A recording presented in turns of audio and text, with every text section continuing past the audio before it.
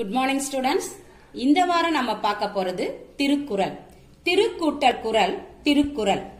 மேன்மையான கருத்துக்களை குறள் வெண்பாக்களால் கூறும் நூல் எனின் இது திருக்குறள் என பெயர் பெற்றது. இஃது ஈரடிகளில் இயற்றப்பட்டிருப்பின் விரிவான பொருளை தருகிறது. ஈர் அடி அப்படின்னும் பொழுது இரண்டு அடிகளுக்கும் குறைவானது. ஒன்னே முக்கா அடிதான். இங்க போர்டுல நம்ம பாக்குறது மாதிரி பாருங்க. ஏழு சீர் கொண்ட வார்த்தைகள் இருக்கும் பாருங்க. ஒன்று இரண்டு மூன்று நான்கு. முதல் அடியில நான்கு சொற்களும் அடுத்து இரண்டாவது அடியில மூன்று சொற்களும் இடம்பெற்றிருக்கும். இப்படி ஒன்னே முக்கா அடியில் இருக்கக்கூடியதுதான் திருக்குறள். இரண்டு அடிகள் கூட முழுமையாக இருந்திருக்காது. இந்த திருக்குறளாகப்பட்டது நாடு மொழி இனம் மதம் காலம் ஆகியவற்றை கடந்து நிற்கிறது. உலக பொதுமறை என போற்றப் பெறுகிறது. திருக்குறள் பதினெண் கீழ்கணக்கு நூல்களில் ஒன்றாகும். இது அறத்துப்பால் பொருட்பால் இன்பத்துப்பால் என முப்பாலாக பகுக்கப்பட்டுள்ளது. ஆ- நூற்றி முப்பத்தி மூன்று அதிகாரங்களும் ஆயிரத்தி முன்னூற்றி முப்பது குறள்களும் கொண்டுள்ளது. ஒவ்வொரு அதிகாரத்திலும் பத்து குறள்கள் என்று கூறப்பட்டிருக்கின்றது. இது ஆங்கிலம் கிரேக்கம் லத்தீன் முதலிய உலக மொழிகள் பலவற்றாலும் இந்நூல் மொழிபெயர்க்கப்பட்டுள்ளது. திருக்குறளுக்கு பலர் உரை அதாவது மீனிங் ஒரு குரல்னா அந்த குறளினுடைய பொருளை வந்து எழுதியிருப்பாங்க. தமிழ்ச் சான்றோர் பலரால் இயற்றப்பட்டது திருவள்ளுவ மாலை. திருக்குறளின் பெருமைகளை போற்றி புகழ்கிறது. வள்ளுவனை பெற்றதால் பெற்றதே புகழ் வையகமே என்றும் இணையில்லை முப்பாலுக்கு இந்நிலத்தே என்று பாவேந்தர் பாரதிதாசனும் திருக்குறளை போற்றி புகழ்ந்து உரைத்துள்ளார்.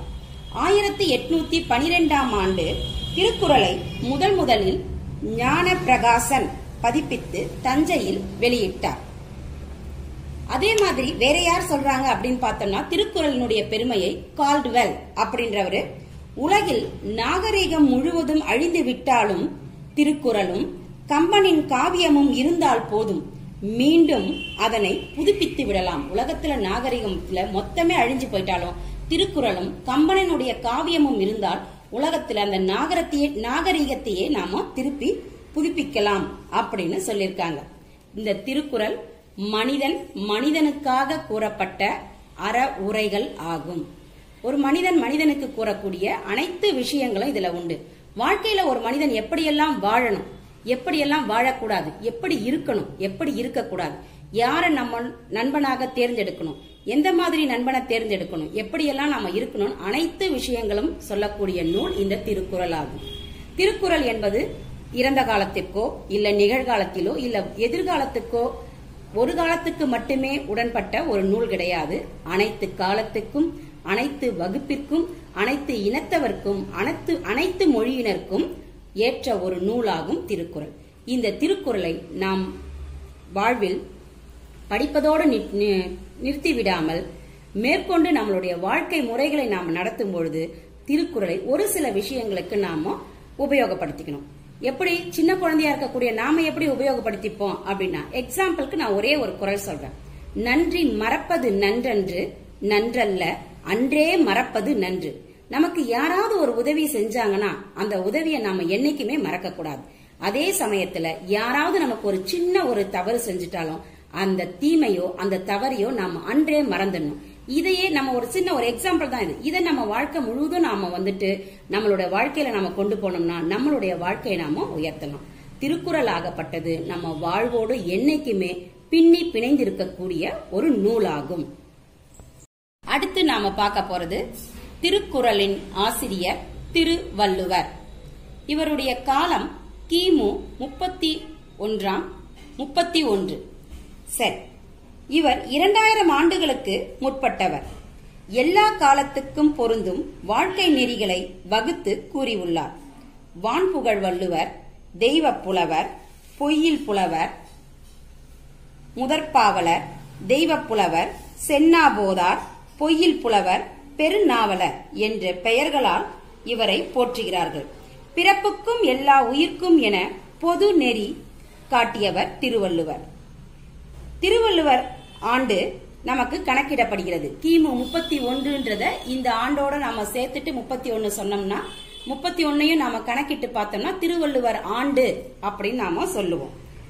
தமிழக அரசு தைத்திங்கள் இரண்டாம் நாளை திருவள்ளுவர் நாளாக அறிவித்து கொண்டாடி வருகிறது. பொங்கல் நாள் வரும்பொழுது முதல் நாள் இரண்டாம் நாள் போகும்பொழுது மூன்றாவது நாள் திருவள்ளுவர் நாளாக நமக்கு கொண்டாடப்படுகிறது. திருவள்ளுவர் அப்படின்னு பார்த்தோம்னா திருவள்ளுவர் பத்தியோ இல்ல அவருடைய தந்தையாரை பற்றியோ நமக்கு எந்த விதமான ஒரு விஷயமும் நமக்கு தெரியல. திருவள்ளுவர் அவருடைய பிறந்த ஊர் அப்படி எதுன்னு பார்த்தோம்னா சென்னைக்கு பக்கத்தில் இருக்கக்கூடிய மயிலாப்பூராக இருக்கலாம் அல்லது கும்பகோணமாக இருக்கலாம் என்றுதான் அறிஞர்கள் கூறுகிறார்களே தவிர திட்டவட்டமாக யாரும் சொல்லவில்லை. திருவள்ளுவரனுடைய மனைவியின் பெயர் வாசுகி. அடுத்தது பார்த்தோம்னா திருவள்ளுவர் சென்னை மயிலாப்பூரில் தான் பிறந்தார் என்று ஒரு சிலர் கூறுகிறாங்க. ஆனா கரெக்டா நமக்கு யாருக்கும் தெரியாது.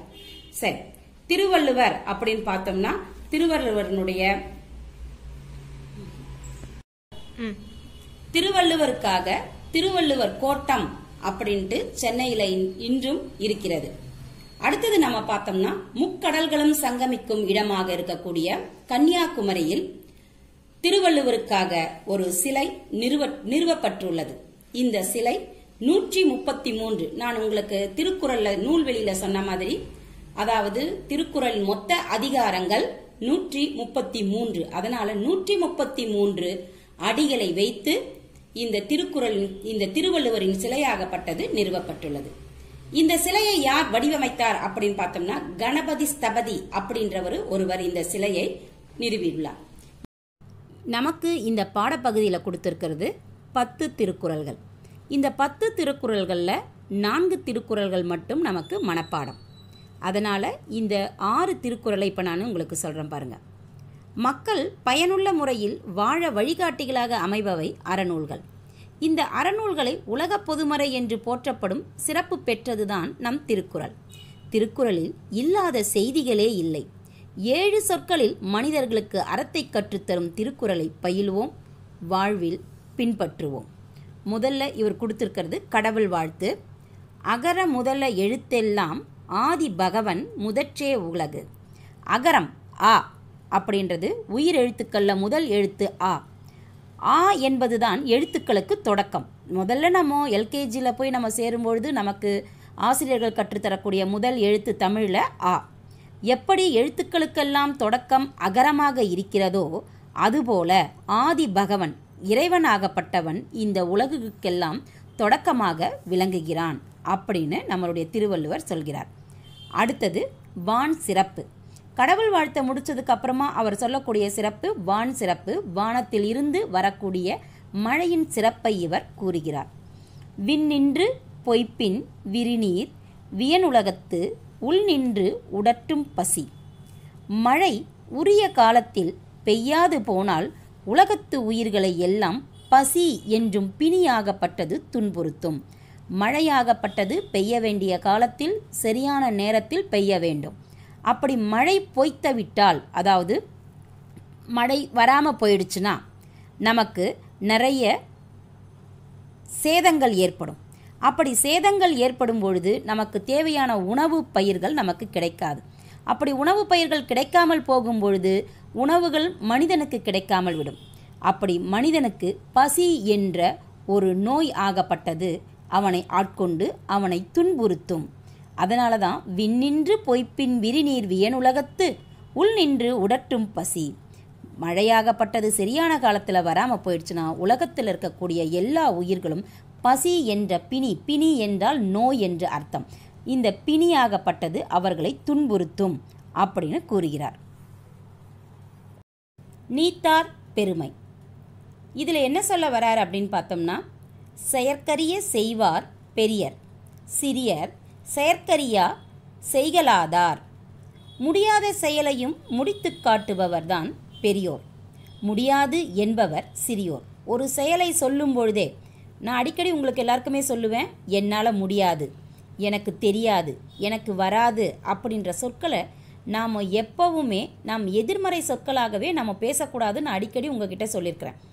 அதனால தான் அதுக்காக ஒரு எக்ஸாம்பிள் மாதிரியே என்னால் முடியும் எனக்கு தெரியும் நான் செய்கிறேன் அப்படின்ட்டு நாம் எந்த ஒரு விஷயத்தையுமே நேர்மறை எண்ணங்களோடு நாம் அணுக வேண்டும். முடியாத செயலையும் முடித்து காட்டுபவர்தான் வயதில் சிறியவனாக இருந்தாலும் அவர்தான் பெரியோர். முடியாது அப்படின்னு என்னால் முடியாது எனக்கு இது வராது தெரியாதுன்னு சொல்கிறவங்க என்னதான் வயதில் பெரியவராக இருந்தாலும் அவர்கள் சிறியோர்தான். அதனால் எப்போவுமே எந்த விஷயத்திலுமே நமக்கு தெரியாது முடியாது நம்ம சொல்லக்கூடாது. அதை ட்ரை பண்ணணும். நம்ம மேலும் மேலும் நம் முயற்சிகள் செய்யும் பொழுதுதான் அந்த விஷயம் நமக்கு நல்லபடியாக முடியும். வராது தெரியாது என்ற எதிர்மறை சொற்களை நாம் பயன்படுத்துதலும் கூடாது. செயற்கரிய செய்வார் பெரியர் சிறியர் செயற்கரிய செய்கலாதார் அடுத்தது மக்கட்பேறு. மக்கட்பேறு என்றதிலிருந்து ஒரு குரல் கொடுத்துருக்காரு. தம்மின் தம் மக்கள் அறிவுடைமை மாநிலத்து மண்ணுயிர்க்கெல்லாம் இனிது. தம்மை விட தம் பிள்ளைகள் அறிவுடையோர் என்றால் மக்களுக்கு அதுதான் மகிழ்ச்சி. ஒரு தாய் தந்தைக்கு எது மகிழ்ச்சி? நம்மளை விட நம்ம குழந்தை வந்துட்டு நல்ல அறிவாளியாக புத்திசாலியாக பணிவுடையவனாக இருக்கிறான் அப்படின்னு தெரிஞ்சாலே அதுவே அவர்களுக்கு ஒரு விதமான மகிழ்ச்சி. இன்னும் நாலு பேர் சொன்னாங்கன்னா இவங்க பிள்ளையா? இவங்க பிள்ளை? இவங்களை விட ரொம்ப புத்திசாலிப்பா? அப்படின்னு எல்லாரும் சொன்னாங்கன்னா அதுதான் நம்மளுடைய ஈன்றெடுத்த நம்மளுடைய தாய்க்கும் தந்தைக்கும் பெருமையாகும். ஒவ்வொரு குழந்தையாகப்பட்டவர்களும் நம்மளுடைய தாய் தந்தைக்கு நாம் சேர்க்கக்கூடிய ஒரு மரியாதை மதிப்பு இதுதான். அன்பின் வழியது உயிர்நிலை அஃதில்லாருக்கு என்புதோல் போர்த்த உடம்பு. அன்பு இருப்பதுதான் உயிருள்ள உடல். அன்பு என்பது இல்லாமல் போனால் அந்த உடல் இருந்தும் பயனில்லை. அந்த உடல் வெறும் எலும்பும் தோலும் தான் என்று கூறுகிறார் வள்ளுவர். அடுத்தது இனியவை கூறல் அப்படின்ற ஒரு தலைப்பிலிருந்து ஒரு குரல். பணி உடையன் இன்சொலன் ஆதல் ஒருவருக்கு அணி அல்ல மற்று பிற. பணிவும் இன்சொல்லுமே ஒருவருக்கு மிக சிறந்த அணி. அணி என்பது அழகு. ஒரு மனிதனாகப்பட்டவன் தன்னுடைய நிலையில் உயர்வானானால் அவனுக்கு பணிவும் இன்சொல்லுமே மிக சிறந்த அழகாகும். ஸ்டூடெண்ட்ஸ் இப்போ நாம இங்க கொடுத்திருக்கிற இந்த நான்கு குரல்களும் ரெண்டு ரெண்டா நான் எழுதி போட்டிருக்கேன். நான்கு குரல்களும் நமக்கு மனப்பாட குரல்கள். சரி முதல் குரல் வான் சிறப்பு அப்படின்றதுல இருந்து வந்திருக்குது.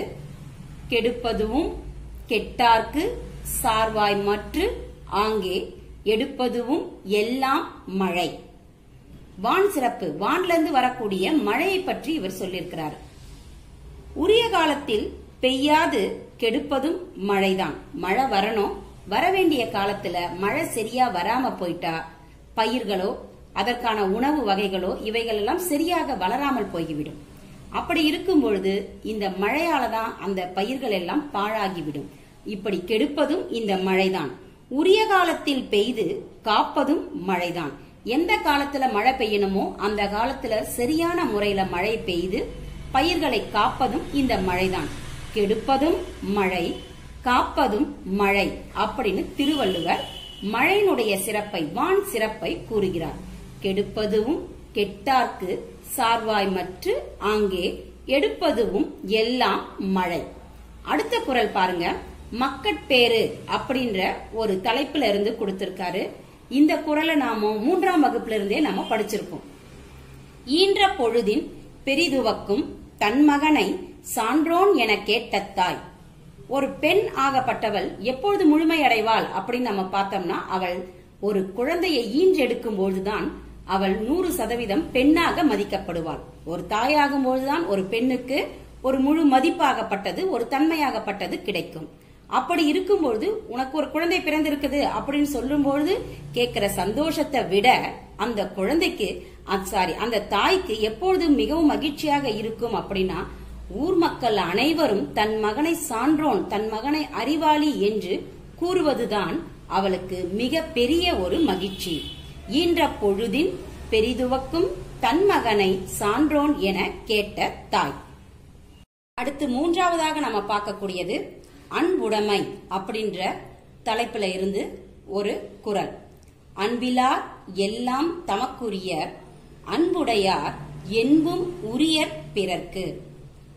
அன்பில்லார் மனதுல அன்பு இல்லாதவங்க இந்த உலகத்துல இருக்கக்கூடிய எல்லா பொருளும் தனதுதான் தனக்கு மட்டும்தான் தனதுதான் அப்படின்னு நினைக்கக்கூடியவங்க. அன்பு உள்ளவர்கள் மனதில் அன்பு உள்ளவர்கள் என்பும் உரிய பிறர்க்கு தன்னுடைய தன்னுடைய உடம்பை பிறர்க்கே என்பார்கள். தன்னுடைய உடல் பொருள் ஆவி எல்லாமே வந்து மற்றவர்களுக்காகத்தான். நம்ம இந்த உடம்பு கூட தனதில்ல அப்படின்னு நினைக்கக்கூடிய ஒரு பொது உடைமை கொண்டவர்கள். அன்பு இல்லாதவங்க இந்த உலகத்தில் இருக்கக்கூடிய எல்லா பொருளும் தனது என்பார்கள். அன்புடையவர்கள் தன்னுடைய உடம்பு தனக்கே சொந்தமான அந்த உடம்பை கூட மற்றவர்களுக்கு உரியது என்பார்கள். நான் ஏற்கனவே சொன்ன மாதிரி ஸ்டூடெண்ட்ஸ் நல்லா கவனிச்சு திருக்குறளை எழுதும்பொழுது எழுதணும். திருக்குறளை எழுதும்போது ஒன்று இரண்டு மூன்று நான்கு சீர்கள் மட்டும்தான் முதல் அடியில் வர வேண்டும். இரண்டாவது அடியில அதாவது செகண்ட் லைன்ல ஐந்து ஆறு ஏழு இந்த மூன்று சீர்களும் அடுத்துதான் வரணும். திருக்குறளுடைய முறை இதுதான். இப்படித்தான் எழுதணும். இப்படி எழுதினால்தான் நமக்கு முழு மதிப்பெண் கிடைக்கும். அடுத்தது நம்ம பார்க்கக்கூடியது இனியவை குரல் அப்படின்ற தலைப்பிலிருந்து ஒரு குரல். இனிய உளவாக இன்னாத கூறல் கனி இருப்ப காய் கவர்ந்தற்று. இனிய சொல் இருக்கும் பொழுது இன்னா சொல் பேசுவது இனிமையான சொற்கள் தமிழ்ல எவ்வளவோ இருக்குது. அதை விடுத்து நமக்கு தேவை இல்லாத மிக கடுமையான சொற்களை பேசுவது எதற்கு திறமையா ஊமையாக கூறுகிறார் நம்மளுடைய வள்ளுவர். காய்கள் நிறைய இருந்தாலும் நம்ம சாப்பிடணும்னு எதை நம்ம நினைப்போம்? பழத்தை தான் நம்ம நினைப்போம். அப்படி காயை உண்பது போன்றது. பழம் இருக்கும் பொழுது காயை தேடி யாராவது போய் உண்ணுவோமா? உண்ண மாட்டோம் அதனாலதான் இனிய உளவாக இன்னாத கூறல் கனி இருப்ப காய் கவர்ந்தற்று. இனிய சொற்கள் தமிழில் எவ்வளவோ இருக்கும் பொழுது அதை விடுத்து நாம் ஏன் கடுமையான சொற்களை பேச வேண்டும்? பேசக்கூடாது என்பதற்காகத்தான் ஒரு ஓமையாக கூறியிருக்கிறார். கனி இருக்கும்பொழுது நம்ம காயை தேடி போவோமா? கண்டிப்பா நம்ம யாருமே போக மாட்டோம். அதனால காயை இந்த இடத்தில் கடுமையான சொற்கள் என்றும் கனியை இனிமையான சொற்கள் என்றும் கூறுகிறார்.